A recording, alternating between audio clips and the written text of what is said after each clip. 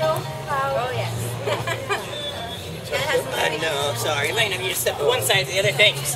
He's just for looking at it.